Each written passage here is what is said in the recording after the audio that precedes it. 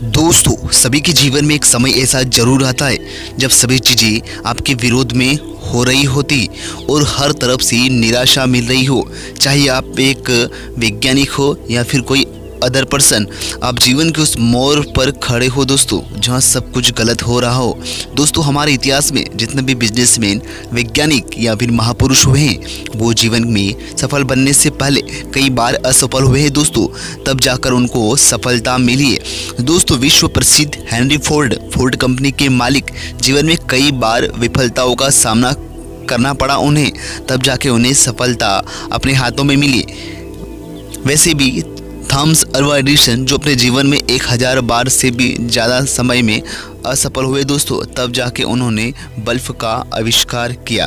दोस्तों, जीवन में अगर असफलताएँ मिले तो उसे स्वीकार करो, क्योंकि असफलता तभी मिलेगी जब हम सफलता के करीब होंगे, और बार बार अगर असफल होंगे तो हमें यह विश्वास हो जाएगा कि हाँ कुछ तो कमी रही है। अब इन कमियों को दूर कर हमें सफलता की ओर अग्रसर बढ़ना पड़ेगा। दोस्तों, अगर ये वीडियो आपको अच्छा लगा तो चैनल को सब्सक्राइब करें और लाइक करें और ऐसे ही अमेजिंग वीडियो के लिए शेयर सब्सक्राइब एंड लाइक मिलते हैं एक बेहतरीन वीडियो के साथ। तब तक के लिए जय हिंद, जय भारत, वंदे मातरम।